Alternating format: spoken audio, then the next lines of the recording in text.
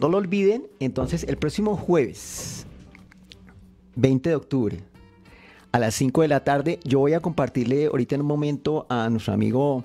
Oscar Junca la pieza gráfica para que la puedan compartir en la página de Facebook y, y lo tengan presente, por qué ese taller y para qué y a qué horas